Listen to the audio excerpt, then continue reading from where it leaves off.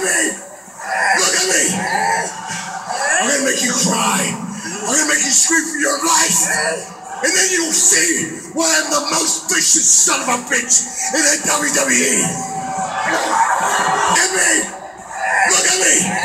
A special person running around with my living gold medal. Because I'm on your behalf and what I do to you at SummerSlam. Look at me.